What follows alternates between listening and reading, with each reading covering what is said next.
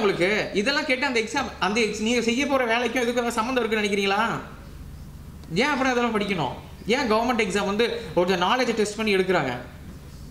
அதுக்கு ஒரே ஒரு ரீசன் நான் சொல்லட்டா? ஃபார் எக்ஸாம்பிள் நான் உங்களுக்கு சொல்கிறேன் இப்போ வந்து பார்த்தோம்னா நீங்கள் ஒரு டி ஒரு தமிழ்நாடு பப்ளிக் சர்வீஸ் கமிஷன் எழுதி ஒரு முனிசிபல் கமிஷனாக போயிடுறீங்க. எனக்கு தெரிஞ்சு வந்து நிறைய பேர் போயிருக்காங்க. அதில் என்ன அப்படின்னு பார்த்தோம்னா நார்மலாகவே வந்து ஒரு சாதாரண ஒரு ஒரு போகிற ஒரு அதிகாரியாக இருந்தால் என்ன பண்ணுவாங்க அப்படின்னு பார்த்தோம்னா வந்து என்னது?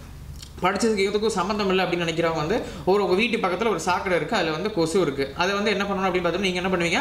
அது மருந்து விட்டு அடிக்கணும் அப்படின்னு சொல்லி சொல்லுவீங்க. இதில் சயின்ஸை கொஞ்சம் நல்லா படிச்சிருந்தீங்க அப்படின்னு பார்த்தோம்னா எனக்கு தெரிஞ்ச ஒரு முனிசிபல் கமிஷன் பார்த்த சாதின்னு சொல்லிட்டு நம்ம ஸ்டூடெண்ட் அவர் என்ன பண்ணார்? இங்கே வந்து ஸ்டேட் ரேங்க் ஹோல்டர் எடுத்தார். அவர் என்ன பண்ணாருன்னா சயின்ஸ் அப்ளை பண்ணுற இடத்துல. என்னது? அந்த மாதிரி அந்த அந்த டிச்செல்லாம் சாக்கடைலாம் இருக்குல்ல அதில் என்ன பண்ணுறாரு கேம்பூசி அப்படின்னு சொல்லிட்டு ஒரு ஃபிஷ்ஷோட சொல்கிறார் கேம்பூசி ஆஃபீஸ் கேள்விப்பட்டிருக்கீங்களா? அது என்ன பண்ணும் அப்படின்னு பார்த்தோம்னா வந்து அந்த சாக்கடையில் இருக்கக்கூடிய அந்த மஸ்கிட்டோட முட்டைகள்லாம் அது சாப்பிட்ருமா ஸோ அப்படின்னா என்ன ஆகுது அப்படின்னு பார்த்தோம்னா வந்து அந்த இடத்துல வந்து இனி வாய்ப்பே கிடையாது. நீங்கள் கொசு மருந்து அடிச்சீங்கன்னா அது அப்போ மட்டும்தான் இதாகும். திரும்ப வந்துடும் அது. சொல்கிற புரிஞ்சு. அப்போனா அந்த இடத்துல அப்ளை பண்ணுறீங்க நீங்கள் படிச்சதை. சொல்கிற புரிஞ்சா. அதனால தான் உங்களுக்கு வந்து இன்னொன்று என்ன அப்படின்னு பார்த்தோம்னா வந்து ஏன் கவர்மெண்ட்டு நீங்கள் நல்லா பார்த்துருப்பீங்க இந்த ஐடி கம்பெனி போகிறாங்க பார்த்துருக்கீங்களா? எனக்கு தெரிஞ்சு நிறைய பேர் வந்து ஐடி கம்பெனியில் வந்து போயிருக்காங்க. ஐடி கம்பெனி ஏன் அப்படி எல்லாரும் ஐடி கம்பெனி போகிறாங்க அப்படின்னு பார்த்தோம்னா வந்து கவர்மெண்ட்டில் வந்து கொஸ்டின்ஸ் வந்து டஃப்பாக இருக்குது காம்படிஷன் அதிகமாக இருக்குது அப்படின்னு சொல்லி போகிறாங்க அதுக்கு என்ன ரீசன் நான் சொல்கிறேன் இப்போ இருக்கவங்க எப்படி இருக்காங்க? என் தங்கச்சியே ஒரு எக்ஸாம்பிள் சொல்கிறேன் அவங்க என் தங்கச்சி எங்கே அப்படின்னு பார்த்தா அசஞ்சர் கேள்விப்பட்டிருக்கீங்களா? அசஞ்சர் கேள்விப்பட்டிருக்கலாம் இல்லையா? அந்த பொண்ணு என்னென்னா என் தங்கச்சி வந்து கவர்மெண்ட் எக்ஸாமாக எழுதிட்டு இருக்கும். கவர்மெண்ட் எக்ஸாமாக எழுதி எந்த எக்ஸாமே கிளியர் பண்ணல. சொல்ற புரிஞ்சா? எந்த எக்ஸாம் கிளியர் பண்ணல? நான் சரி என்னடா நல்லா படிக்கிற அசஞ்சர்லாம் வேலை கிடச்சிருக்கு ஏன் கிளியர் பண்ணல அப்படின்னு சொல்லிட்டு ஒரு நாள் கூப்பிட்றேன் கூப்பிட்டு கவர்மெண்ட் எக்ஸாம் வந்து நீ இவ்வளோ எக்ஸாம் எழுதுறல அப்படின்னு சொல்லிட்டு ஒரு நாள் ஒரு பேங்க் எக்ஸாம் எழுதிட்டு வந்தது. எழுதிட்டு வந்தேன்னா ஏன் நீ வந்து கிளியர் பண்ணல? அப்படின்னு சொல்லிட்டு கேட்டேன். சரி என்ன எக்ஸாம் நீங்க எழுதிட்டு வந்தேன். பேங்க் எக்ஸாம் எழுதுனேன் எவ்வளோ நேரம் அப்படின்னு சொன்னேன் ரெண்டு மணி நேரம். நான் நான் சொன்னேன் ரெண்டு மணி நேரமா? அப்படின்னு இல்லை ரெண்டு மணி நேரம் வெறும் ஒன் டுவெண்ட்டி மினிட்ஸ் தான் அப்படின்னது எவ்வளவா? ரெண்டு மணி நேரம் எக்ஸாம் இல்லையா? ஒன் டுவெண்ட்டி மினிட்ஸ் தானா? நான் அப்பவே நினைச்சேன் நீ எந்த எக்ஸாமை பாஸ் பண்ணுறது ரொம்ப ரொம்ப கஷ்டம் அப்படின்னு. எப்படி பாஸ் பண்ண முடியும்? அவனே வந்து ஆப்டிடியூடு தான் முக்கியங்கிறான். பேங்க்ல ஏன் ஆப்டிடியூடு முக்கியங்கிறான்? அந்த இடத்துல வந்து உங்களுக்கு பிரசன்ஸ் ஆஃப் மைண்ட் நிறைய இருக்கணும். கேஷ் நிறைய நீங்க இது பண்ணணும். உங்களுக்கு வந்து பார்த்தோம்னா சாயந்தரம் ஆனால் வந்து அந்த பேங்க்ல உள்ள எல்லாத்தையும் வந்து பார்த்தோம்னா கிளியர் பண்ணிட்டு எல்லாம் வந்து டேலி பண்ணிட்டு போகணும். அதனால மைண்ட் ஃபாஸ்ட்டாக இருக்கணும். அதனால ஆப்டிடியூட் ஃபாஸ்ட்டாக போடணும். சொல்கிற புரிஞ்சுதா? அதே மாதிரி ஏன் வந்து நிறைய நாலேஜாக படிச்சு வச்சுட்டு இருக்கீங்கன்னா நாளைக்கு பப்ளிக் ப்ரெஷர் உங்களுக்கு வரும். நீங்கள் வந்து எப்படி ஹேண்டில் பண்ணுற சுச்சுவேஷன் உங்களுக்கு தான் தெரியாது சொல்கிற புரிஞ்சு அதனால தான் கவர்மெண்ட் வந்து பார்த்தோம்னா வந்து மூளை இருக்கவன தேடுறாங்க. யார் வந்து மூளை வந்து எவ்வளோ ஸ்டஃப்பை வந்து தாங்கிக்கிறாங்க? நார்மலாக வந்து படிக்கிறது வந்து ஈஸிலாம் கிடையாது. கஷ்டம் தான் சொல்கிற புரிஞ்சா தொடர்ந்து உங்களால் வந்து ஒரு ரெண்டு மணி நேரம் படிக்க முடியுமா? படிக்கவே முடியாது. புரிஞ்சுதா? ஏன் ஏன்? நமக்கு இருக்கக்கூடிய பிரச்சனை எல்லா வீட்டு பிரச்சனை அந்த பிரச்சனை இந்த பிரச்சனை எல்லாம் சேர்த்து வச்சுட்டு எவன் ஒருத்தர் படித்து பாஸ் பண்ணுறானோ அவனால் மட்டும்தான் என்ன பண்ண முடியும்? அந்த இடத்த வந்து ஸ்ட்ரகிளை வந்து தாங்க முடியும். சொல்கிற புரிஞ்சா இன்னொன்று படிக்கும்போது சில மிஸ்டேக்ஸ்லாம் பண்ணுவோம். என்ன இந்த கவர்மெண்ட் எக்ஸாம் நிறைய பேர் என்ன மிஸ்டேக் பண்ணுறாங்கன்னு சொல்கிறேன் நீங்களே வந்து காலேஜில் நம்ம படிச்சிருப்பீங்க. காலேஜில் கிளாஸில் சொல்லியிருப்பாங்க. நோட்ஸ் எல்லாம் எடுத்துகிட்டு இருப்பீங்க. அந்த நோட்ஸ் எடுக்கும்போது என்ன கொடுத்துருப்பாங்க உங்களுக்கு? அங்கே கிளாஸ் எடுக்கும்போது நீங்கள் அழகாக எல்லா நோட்ஸ் எழுதிருப்பீங்க. நல்லா படிச்சிருப்பீங்க. அதே எக்ஸாம் அன்றைக்கி போய் ஹாலில் போய் உட்காந்தோடனே என்ன ஆகும் அப்படின்னா வந்து அது அதில் இருக்க கொஸ்டின் அதே கொஸ்டின் எக்ஸாமில் கேட்குறாங்க உங்களுக்கு அந்த நீங்கள் எழுதக்கூடிய அந்த பேப்பர் உங்கள் மைண்டுக்குள்ள ஒரு ஞாபகம் இருக்கா? அது எந்த சைடில் இருக்கீங்களோ ஞாபகம் ஒரு ஞாபகம் இருக்கா இல்லையா? ஆனால் ஆன்சர் மட்டும் மங்களாக தெரியுமில்ல கரெக்டாக அது? எல்லாமே தெரியும். அந்த என்ன நோட்டுன்னு தெரியும். அது என்ன காலத்தில் எழுதியிருக்கோம்னு தெரியும். ஆனால் வந்து ஆன்சர் மட்டும் என்னது? அப்படியே பிளர்டாக தெரியும். பிளர்டு விஷனாக வந்து இந்த ஆஸ்டிக் மேட்டிசம் அப்படின்னு சொல்லுவாங்கல்ல கண்ணில். இந்த சிலிண்டரில் சோடா பட்டி போட்டுருப்போம். அதை ஆஸ்டிக் மேட்டிசம் சொல்லுவோம் ஒன்றும் ஹரிசாண்டலாக தெரியாது இல்லை வெட்டிக்கலாக தெரியாது. அப்படித்தானே? அந்த மாதிரி ஒன்றுமே தெரியாது. அதுக்கு ஏன் என்ன ரீசனாக இருக்கும் அது? என்ன ரீசனாக இருக்கும்? அதுக்கு என்ன அப்படின்னு பார்த்தோன்னா திரும்ப திரும்ப ரிவைஸ் பண்ணாமல் இருப்பீங்க இன்னொன்று காம்ப கவர்மெண்ட் எக்ஸாம் பொறுத்த வரைக்கும் நீங்கள் பெரிய பெரிய விஷயம்லாம் தெரிஞ்சுக்கணும் அவசியமே கிடையாது. சின்ன சின்ன விஷயத்தை தெளிவாக தெரிஞ்சுக்கணும். இங்கே யார் ஸ்கூலில் தமிழ்லாம் படிச்சிருக்கீங்க? தமிழ் படிச்சிருக்கீங்க. ஆ சரி ஓகே நீங்கள் மட்டும் சொல்லுங்கள் ஆ காங்காச்சானா தெரியுமா பார்க்காம? இக்கு இங்கிச்சு சொல்லுங்க பார்ப்போம். இல்லை சிம்பிளாக தான். உங்களுக்கு நிறைய பேர் தெரியாது. இக்கு இங்கிச்சு மட்டும் சொல்லுங்கள்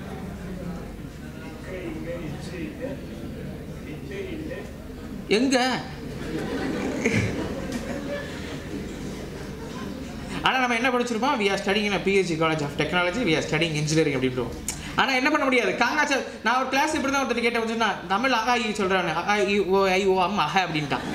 என்னடா இது? என்னவோ கன்ஃபியூஸ் ஆகுது அப்படின்னு சொல்லிட்டு பார்த்தேன். கரெக்டா என்ன பிரச்சனை இது? அவன் படிக்க படிக்கிறதுல தப்பு அது சொல்கிற புரிஞ்சா? பெரிய பெரிய விஷயம்லாம் தெரிஞ்ச அவசியமே இல்லை. சின்ன சின்ன விஷயத்தை தெளிவாக தெரிஞ்சிருந்தாலே போதும். நீங்கள் எக்ஸாமில் பாஸ் பண்ணிடலாம். சொல்கிற புரிஞ்சா? அந்த மாதிரி சிம்பிளான விஷயத்தை ஃபஸ்ட் நம்ம நல்லா புரிஞ்சுக்கணும். அது தெரியாமல் நம்ம என்னென்னவோ படிச்சுட்டு இருப்போம். சொல்கிற புரிஞ்சா நான் நிறைய பேர்த்து பார்த்துருக்கேன் அந்த மாதிரி. கவர்மெண்ட் எக்ஸாம் வந்து எப்படி படிக்கணும்னே தெரியாமல் இருப்பாங்க. அதில் இன்னொன்று வீட்டில் வந்து இருக்கும் படிக்கிறவங்களுக்கும் எக்ஸாம் இன்ஸ்டியூட் வந்து படிக்கிறவங்களுக்கு வித்தியாசம் சொல்லிடுறேன். எப்படி படிப்பாங்கன்னு சொல்லிட்டு. வீட்டில் இருந்து படிக்கணும்னு வச்சுங்களேன் நீங்கள் நாலே நாலு கேள்வி தான் படிச்சிருப்பீங்க. என்னது? இந்தியாவில் வந்து பார்த்தோம்னா பிரைம் மினிஸ்டர் வந்து மோடி அது மாதிரி வந்து பிரசிடென்ட் வந்து பார்த்தோம்னா யாரு? ராம்நாத் கோவிந்த் கவர்னர் ஆஃப் தமிழ்நாடு யாரு? பன்வாரிலால் புரோஹித் அதுக்கப்புறம் சீஃப் மினிஸ்டர் யார்? இப்படி சொல்லி படிச்சிருப்போம். படிச்சு முடிச்சுட்டு நமக்கு ஒரு ஃபீலிங் வரும். நம்ம தான் வேர்ல்ட்லேயே வந்து பெஸ்ட் நாலேஜபிள் பர்சன் இந்த வேர்ல்டு அப்படின்னு சொல்லிட்டு. சொல்கிற புரிஞ்சா? இங்கே கிளாஸுக்கு வந்து பார்த்ததுக்கப்புறம் அவன் அவன் படிக்கிற பார்த்தோம்னா டென்ஷன் ஆயிடுவான். உலகத்தில் இப்படி படிக்கிறவனா இருக்கானா அப்படின்னு சொல்லிட்டு. நீங்கள் நிறைய பேர் சென்னைக்கு போகிறவங்களாம் பார்த்துருக்கீங்களா சென்னையில் போய் நிறைய பேர் படிச்சுட்டு இருப்பாங்க. எல்லா டிஸ்ட்ரிக்ட்ல உள்ளவங்க போய் சென்னையில் போய் படிச்சுட்டு இருப்பாங்க. அங்கே அண்ணா நகர்னு ஒரு நகர் இருக்கும். கேள்விப்பட்டிருக்கீங்களா? அங்கே ஃபுல்லாமே வந்து ஹாஸ்டலாக தான் இருக்கும். அங்கே வந்து பார்த்தோம்னா உட்காந்து படிச்சுட்டு இருப்பாங்க. அது என்ன ரீசன் நான் சொல்கிறேன் சென்னைக்கு போகிறவங்க மட்டும் தான் பாஸ் பண்ண. அப்படிலாம் கிடையாது.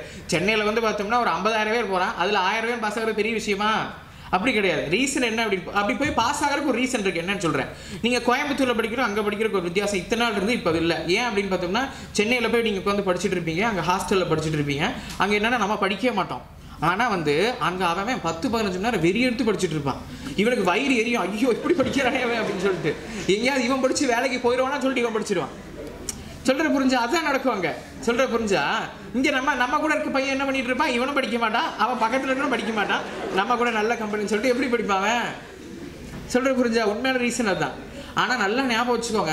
கோயம்புத்தூரோட ஒரு சூப்பரான அட்மாஸ்பியர் உங்களுக்கு தேவைப்படுமா? என்ன படிக்கிறதுக்கு?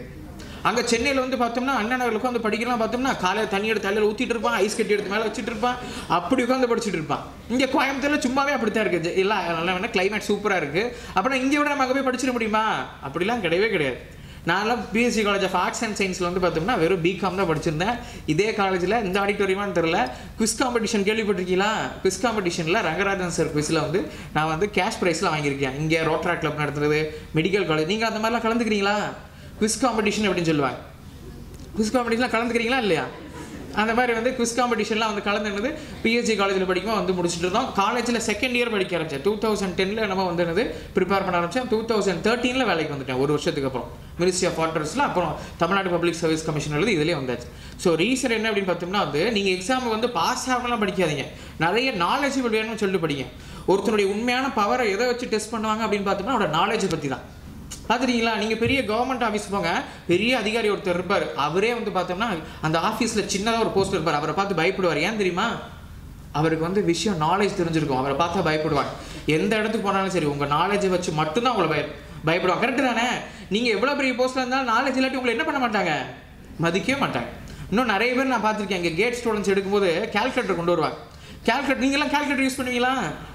கேட் எக்ஸாம்னா கால்குலேட்டர் அலோட என்ன அப்படின்னு பார்த்தோம்னா நீங்கள் கால்குலேட்டர் இல்லாமல் போடுறக்கும் போடுறக்கும் வித்தியாசம் சொல்கிறேன் இவங்க படிக்கிற மெத்தடை சொல்கிறேன் நான். ஏன்னா கேல்குலேட்டர் போட்டு போட்டு பழகி நான் ஒரு கிளாஸில் வந்து ஃபோர் இன்ட்டு ஃபோர் எவ்வளோ கால்குலேட்டர் ஒரு sir calculator போட்டுக்கேன் four into four sixteen sir அப்படின்னு. ஏன்னா அவனால் கன்ஃபார்மாக சொல்ல முடியல அதை. இப்போ சார் காலையில் கேட்டார் ஸ்கொயர் ரூட் கேட்டார் டென் ஸ்கொயர் ரூட் வரைக்கும். ஸ்ட்ரகிள் ஆகிறீங்கல்ல? கரெக்டாக நம்ம பிஎஸ்சி காலேஜ் இன்ஸ்டியூட் டெக்னாலஜி படிக்கிறீங்க பெரிய பெரிய காலேஜில் படிக்கிறீங்க. ஆனால் அந்த ஸ்கொயர் ரூட் கேட்கும்போது என்ன ஆகுது? ஸ்ட்ரகிள் அதுக்கு ஒரு இன்சிடென்ட் சொல்கிறேன் சூப்பரான இன்சிடென்ட்டு நான் யூபிஎஸ்சி எக்ஸாமில் வந்து மெயின் எக்ஸாமினேஷன் எழுத போகும்போது சென்னை போயிருந்தேன். அப்போ இந்தியாவில் ஒரு லாங்கஸ்டான எக்ஸ்பிரஸ் இருக்குது என்ன எக்ஸ்பிரஸ் இது? விவேக் எக்ஸ்பிரஸ்மா டூ தௌசண்ட் டுவெல் என்னமா வந்து பார்த்தோம்னா அந்த திப்ருகாரன் அசாம்லேருந்து கன்னியாகுமரி தமிழ்நாடு வரைக்கும் ஒரு நாலாயிரத்தி இரநூத்தி எண்பத்தாறு கிலோமீட்டர் உலகத்திலே ஒம்போதாவது நீளமான ட்ரெயின் அது. சொல்கிற புரிஞ்சுதா? அது வந்து ரெண்டரை நாளாக என்னமோ அங்கேருந்து இங்கே வரக்கு ஆகும் அதில் ஒருத்தர் டிடிஆர்னு ஒருத்தர் ஒர்க் பண்ணிட்டு இருந்தார். அவர் என்ன பண்ணார்? அவரும் மெயின் எக்ஸாமினேஷன் வந்து எழுத வர்றாரு. சொல்கிற புரிஞ்சா? இல்லை அது staff selection commission main exam SSC combined graduate level ஒரு எக்ஸாம் நடத்துவாங்க. அதில் மெயின் எக்ஸாமினேஷனில் பார்த்தோம்னா நூறு ஆப்டிடியூட் கொஸ்டின் இருக்கும். ஒரு கொஸ்டினுக்கு ரெண்டு மார்க்கு அவர் எழுத ஆரம்பிக்கிறாரு நானும் எழுத ஆரம்பிக்கிறேன்.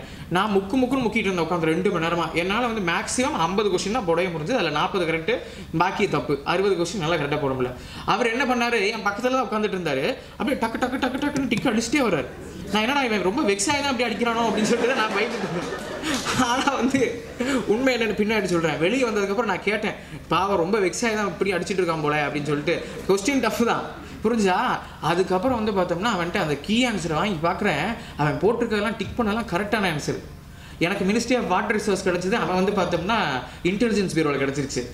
சொல்கிறப்ப ஏன்னா என்னோட மார்க் அதிகம். அதனால் வந்து எனக்கு அது கிடைக்கல அவனுக்கு கிடைச்சிருச்சு. நான் கேட்டேன் அவர் பின்ன பின்னாடி ஃபோன் நம்பர்லாம் வாங்கிட்டு போனேன். அப்போ கேட்டுட்டேன் நாங்கள் எக்ஸாம் அளவு எப்படி எப்படி நீ இவ்வளோ கரெக்டாக போடுறீங்க? நான்லாம் முக்கமும் ஒரு சம்ம போடுறதுக்கு அரை மணி நேரம் ஆகுது இங்கே அப்படின்னு.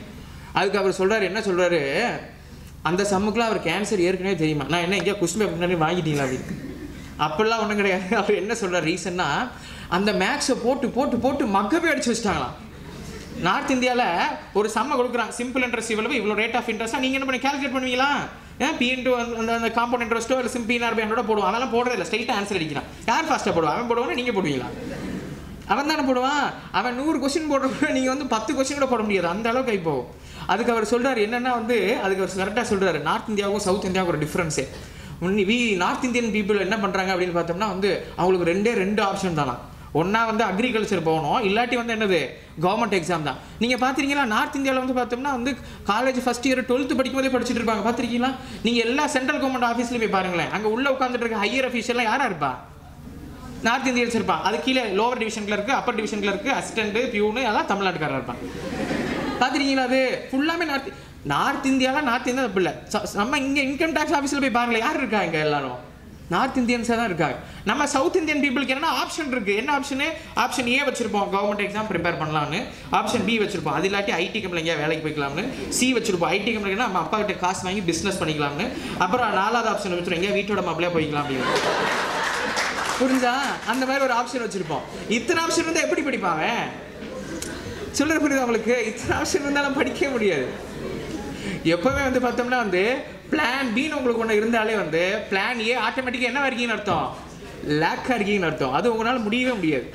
சொல்கிற புரிஞ்சா? அதனால் வந்து பார்த்தோம்னா அது என்னது? எப்போவுமே வந்து பார்த்தோம்னா ஒரு பிளானோட செட் பண்ணிக்கங்க. கவர்மெண்ட் எக்ஸாமா கவர்மெண்ட் எக்ஸாம் சில நேரம் சில பேர்த்துக்கு வந்து பார்த்தோம்னா அதை சீக்கிரம் பாஸ் பண்ணுவாங்க சில பேர்த்துக்கு லேட்டாக பாஸ் பண்ணுவாங்க. அது வேற விஷயம். அதனால தான் நான் ஏற்கனவே முதல்ல சொல்லுவேன். படிக்கிறவங்க வந்து பார்த்தோம்னா நிறைய டைப் ஆஃப் பீப்புள் இருப்பாங்க. ஒருத்தர் வந்து பார்த்தோம்னா வந்து கற்பூரம் மாதிரி இருப்பாங்க. ஒருத்தர் வந்து பார்த்தோம்னா கறி கோழி கேள்விப்பட்டிருக்கீங்களா? கேள்விப்பட்டா இல்லையா? கோல் கேள்விப்பட்டிருக்கீங்களா? கரிமா ரெண்டு பேர் இருப்பாங்க. அதில் வந்து ஒருத்தன் எப்படி இருப்பான் அப்படின்னு பார்த்தோன்னா கற்பூரம் மாதிரி டக்குன்னு அவனுக்கு எல்லாமே ஞாபகம் வந்துடும் படிச்சோம்னா அப்படியே ஞாபகம் இருக்கும். இன்னொருத்தனுக்கு கறி தீ பிடிக்குமா அவ்வளோ சீக்கிரம்? தீயே மண்டையில் ஏறவே ஏறாது அவனுக்கு.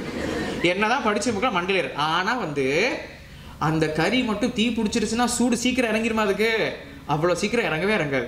ஸோ அவன் படிக்கிற கொஞ்ச நாள் டைம் ஆகும். ஆனால் வந்து என்ன பண்ணியிருப்பான் அவன்?